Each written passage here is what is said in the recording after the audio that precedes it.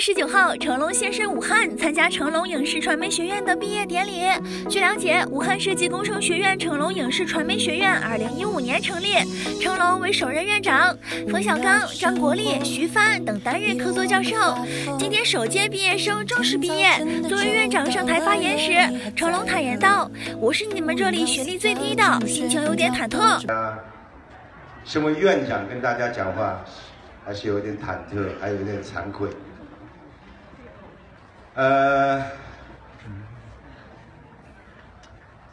年轻的我，我赚了很多钱，我拿了很多奖，因为那个时候是我想要的。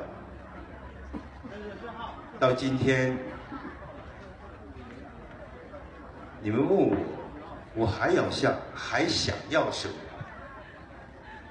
如果可以回到童年。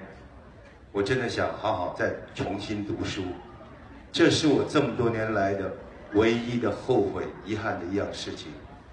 所以，我很羡慕所有的学生、毕业生，你们有这么好的大的时光，在这么好的环境、这么好的时代，有这么多人的关心你们，所以希望大家真的要。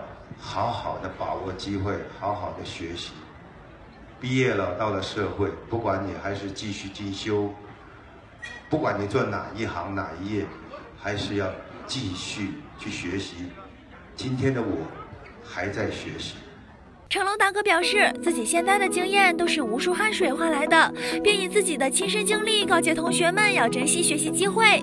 芒果拉新闻祝大家毕业快乐哟！报道。